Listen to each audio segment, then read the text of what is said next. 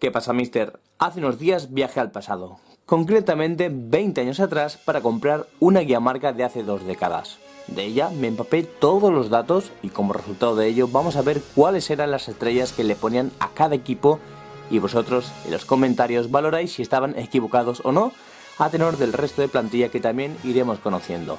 Aunque debo decir que la guía marca igual no estaba demasiado actualizada, así que también valoraremos esto y nos echaremos unas risas.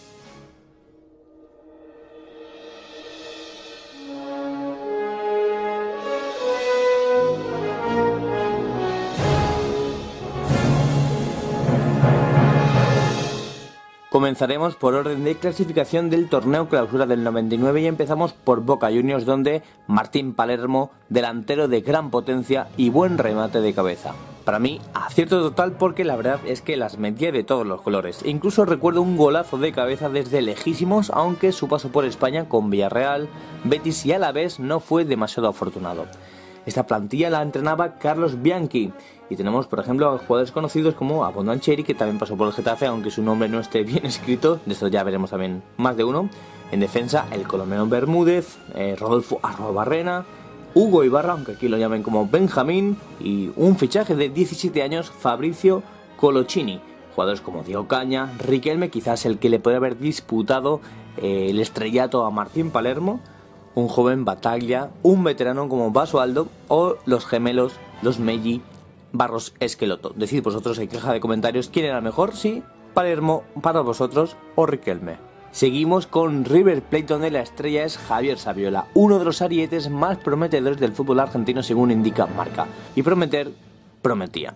Dio el salto al Barça donde empezó jugando poco a poco pero al final quedó como un buen revulsivo o para equipos de un segundo nivel como por ejemplo el Málaga que jugó la Champions. En ese River Plate de Ramón Díaz estaban jugadores que pasaron por España como por ejemplo Tito Borano que precisamente también fichó por el Barça esa misma temporada que llegó Saviola, Leo Ramos que pasó por el Salamanca, Profesorín, Berizzo, eh, Placente, aquí también encontramos al paraguayo Pedro Sarabia, bueno, míticos nombres como Marcelo Gallardo, como no, Astrada, eh, Leonel El Pipa Gancedo, el avioncito Rambert, Juan Pablo Ángel, el colombiano que me encantaba, en el San Lorenzo de Oscar Ruggeri la estrella es Gustavo Campañolo, portero sobrio que busca demostrar su valía. Lo de buscar demostrar su valía no sé si queda muy bien la verdad al respecto para vender a la estrella. Pero es que Campañuelo, tras debutar con el Valencia en la dura derrota por 6 a 0 ante el Salamanca y despedirse de Mestalla con 8 goles encajados en dos partidos, parece lógico. No tanto colocarlo como estrella porque vemos aquí que hay otros jugadores como por ejemplo Bernardo Romeo que prometían más, eh, fueron campeones del mundo sub-20 con Argentina, luego en Europa tuvo un paso más discreto por ejemplo por Osasuna, aunque ahí lo hizo muy bien, digo, no fue a equipos tan punteros, pero veo aquí jugadores que quizás lo merecían más que Campañolo. En Rosario Central la estrella era Juan Antonio Pizzi, un ariete de mucha brega y tremenda efectividad. El que fue internacional español había dejado Europa, volvió a River y después, un año después, regresaba al club en el que se formó, cumpliendo su segunda de tres etapas en el conjunto canalla. Y no le fue mal, la verdad es que para mí era un gran delantero, suplente de Ronaldo en el Barça, ídolo en Tenerife. Nos vamos ahora hasta Avellaneda para conocer quién era la estrella de ese Independiente de hace dos décadas y el marca nos dice que ni más ni menos era Esteban el Cuchu Cambiaso, auténtico timonel del rojo de Avellaneda. El Cuchu llegó muy joven al Real Madrid B, fue cedido a Independiente primero y a River después, y me creo que con 19-20 años ya fuese el timonel del rojo. De hecho, cuentan que un ojeador del Real Madrid quedó maravillado viéndolo jugar con Independiente, y cuando lo comentaba ahí entre ojeadores, alguien le comentó que Cambiaso era un futbolista que pertenecía a su club. En ese Independiente que entrenaba César Luis Menotti, encontramos otros jugadores como por ejemplo Gaby Milito en el centro de la defensa con 19 añitos. Me llama la atención la estrella de Unión Santa Fe, Martín Pérez Lindo. Se mueve en el área como pez en el agua. Campeón del mundo sub-20 en Malasia en el 97, Martín Pérez Lindo marcó ante Brasil en cuarto de final. Jugó con Unión en tres etapas, unos meses en Racing, Bellavista uruguayo y probó fortuna en Colombia y Ecuador antes de pasar por equipos más modestos como Tiro Federal, Chacarita o San Martín de Progreso. donde colgó las botas en 2011. Es decir, para moverse como pez en el agua, la verdad es que no sé si lastrado por lesiones o qué, pero Pérez Lindo no tuvo una gran carrera a pesar de haber sido campeón del mundo sub-20. Vamos a conocer ahora qué estrella decía marca que tenía News All Boys y nosotros que Sebastián Covelli, delantero habilidoso y con un futuro prometedor. Prometía según marca, pero acabó vistiendo 18 camisetas de 8 países distintos en las 4 divisiones argentinas y nunca tuvo relevancia, más allá de ser un jugador importante en equipos como por ejemplo Belgrano o Temperley. Saltamos ahora hasta La Plata para ver qué estrella nos dice marca que tenía Gimnasia y el Grima de La Plata. Y nosotros que Gustavo Regui, delantero de gran efectividad en los metros finales. Un gran fail aquí a marca, puesto que Gustavo Regui ya había dado el salto a Europa cuando salió esta revista. Esta guía marca del año 99-2000. Tras un gran año en el Lobo, pasó por Regina y Crotone de Italia con más pena que gloria, aunque años más tarde se haría una buena dosis de goles en Las Palmas y Levante, eso sí, en segunda división. Puso punto y final a su paso por Europa jugando para el Castellón y regresó a Quilmes donde tampoco tuvo un gran paso que digamos. Y de gimnasia a gimnasia pues pasamos de hablar de gimnasia de plata a cerro de gimnasia y Jujuy. Aquí encontramos como estrella a Raúl Antuña, atacante muy luchador y con buen regate. Es otro de esos jugadores que cambiaba constantemente de equipo, en especial en la recta final de su carrera. Quizás aquí lo colocan como jugador estrella porque justo seis meses antes había estado en el Elche de la segunda división española y era el único que sonaba al editor de la revista. Aunque su paso fue más bien triste. Cero goles en 13 partidos. Cuando fichó por el Elche, este estaba fuera del descenso y finalmente el Elche ese año acabaría descendiendo a Segunda B. En Belgrano, la estrella Claudio Enría, delantero muy técnico con experiencia en España. Otro. Otro caso que colocan porque le suena al editor. Y encima aquí lo dicen bien claro. Aunque igual también tenían algo de razón, a pesar de que para la temporada 99-2000 se había marchado a Colón. Por entonces ya había jugado en Ría en el Sevilla, en segunda eso sí, y acabó séptimo. Marcó dos goles en 14 partidos y años más tarde formaría parte de la colonia argentina del Leganés que descendió el equipo a Segunda B. Argentinos Juniors, a pesar de su juventud, tiene el temple de un veterano. Cantrano de Argentinos, Federico Insúa, puede decirse que tuvo una buena carrera.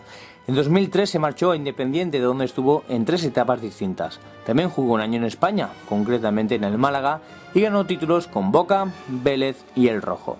Pasó también por Mönchengladbach, América o Necaxa, entre otros. En Colón encontramos como estrella a Marcelo Andrés Trimarchi, aunque yo la verdad es que no he encontrado ni una mísera foto de Trimarchi como Colón, así que eso me hace dudar de si verdaderamente era la estrella. Pequeño de estatura, pero con mucha calidad en sus botas, Surgido del Deportivo Español, estuvo en Gimnasia Jujuy en dos etapas. Entre medias pasó por Lanús, con quien fue subcampeón de la Copa Comebol en el 97, y por Colón, el equipo del que dicen ser estrella a pesar de su estatura.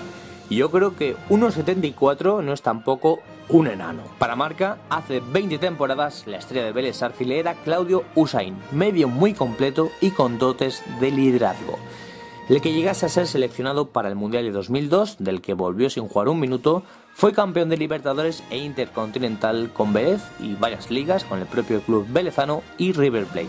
También jugó para Nápoles, Tigres, San Lorenzo o News All Boys, aunque mirando la plantilla ya me encuentro que el primer jugador del equipo del Indio Solari era Chilabert.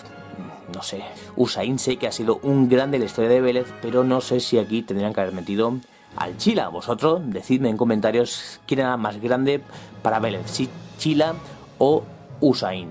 Ojito aquí porque en Racing ya nos dejan un asterisco en el que dice que la delicada situación del club puede provocar múltiples bajas, como si en el resto de equipos no encontramos jugadores que ya no estaban en la plantilla.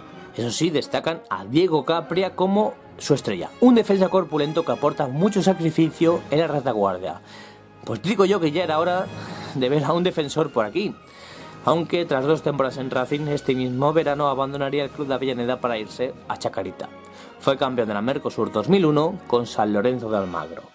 En el Estudiantes de La Plata, dirigido por Carlos Vilardo, la estrella para marca era Marcelo Romagnoli, veterano centrocampista con un control perfecto de los partidos. el que más tarde fuera jugador del Universidad de Las Palmas durante medio año aquí en la segunda española, jugó también para Platense y Belgrano en primera Argentina, sumados a los partidos de estudiantes, llega a concretar unos 200 encuentros en la máxima categoría argentina, así que creo que no está mal la elección. Jugadores, la verdad es que reconozco pocos, Ernesto Farías diría, y poco más. Parece ser que era un estudiante en transición, no como ahora, que ficha grandes estrellas. Pasamos a Lanús donde la estrella era Daniel Cravero. Tampoco tiene desperdicio porque la frase es aporta el espíritu ganador del Lanús de Cooper. Nombrar a Héctor Cooper en algo de Lanús en aquella época era lo más fácil de hacer. Daniel Cravero comenzó en el Chaco Forever y pasó por Platense antes de llegar a Lanús, donde disfrutaría efectivamente de los mejores años de su carrera alzándose con la Copa Comebol del 96. En el 99 fue herido de bala en la rodilla, estuvo un tiempo alejado de los terrenos de juego y al final del clausura, Mario Gómez lo apartó del equipo, donde finalmente saldría un año más tarde, a inicios del año 2000. Pero si la elección de una estrella polémica riza el rizo, es la de Talleres Córdoba.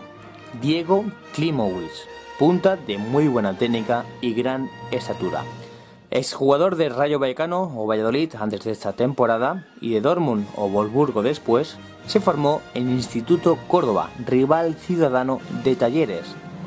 Lo curioso es que en ningún lugar, ni Wikipedia, ni Transfermarkt, ni siquiera tampoco una foto, me demuestra que Klimowicz haya jugado nunca para Talleres. La temporada 99-2000 formó parte de Lanús, así que aquí hay algo que falla y llegamos a Caballito a ver la estrella de Ferro, el último ferrocarril oeste que estuvo en primera división. Recae la figura de Carlos McAllister, según marca un jugador pegajoso en la marca y con mucha disciplina táctica. Y aquí creo que hay que darle la razón al César es del César. Reconozco que la primera vez que en mi vida oí el nombre de este jugador me chocó muchísimo ver que ese apellido defendiera la selección argentina. Algo similar me pasó con Klimowicz viéndolo en los cromos y que este jugador con este apellido hubiese nacido en Argentina. Pero hablamos de Carlos McAllister, que es otro valor surgido en Argentinos Juniors, pasó por Boca sobre todo y por Racing antes de llegar en el 99 a Ferro donde colgaría las botas, obviamente sí, es el padre de los hermanos McAllister, dos de ellos hoy en día en Argentinos Juniors y uno en el Brayton inglés. En el Instituto Córdoba, uno de los equipos que había ascendido esa temporada a la primera Argentina, encontramos como estrella a Javier Óscar López, un veterano que ha sabido llevar a los suyos a la máxima categoría. Conozcamos ahora a una de las estrellas de los equipos ascendidos que es Instituto Córdoba. Javier Óscar López, un veterano que ha sabido llevar a los suyos a la máxima categoría. Dispuso de 450 partidos entre primera y segunda, con las camisetas de Gimnasia y Tiro, Huracán, Colón, Talleres y el propio instituto, el único en el que jugó en ambas divisiones. No sé si os habéis fijado, pero solo he nombrado a 11 equipos y ahora os diré el porqué. Y es que en marca falta uno, puesto que al cierre de estas líneas aún seguía disputándose la lucha por el ascenso a primera. El Instituto Córdoba logró la plaza de ascenso directo a la Nacional A tras la disputa de la ida de las semifinales, el Juventud Antoniana cobraba una ligera ventaja sobre All Boys y Chacarita obtenía un valioso empate en el campo de Defensa y Justicia. Menos mal que aquí uno vive en el año que vive y os voy a decir lo que sucedió. Y es que Chacarita, tras deshacerse de Tigre en cuartos de defensa en semifinales, se impuso a Juventud Antoniana en un memorable partido gracias a un gol de Sergio Bustos, al que por tanto destacaremos en este vídeo. Lo curioso es que Bustos, a pesar de ser delantero o media punta, no marcó ningún gol en los primeros 50 partidos que dispuso en primera, con las camisetas de Racing, Platense y Argentinos. Aún así, tuvo una experiencia de dos años en la Bundesliga con el Nuremberg.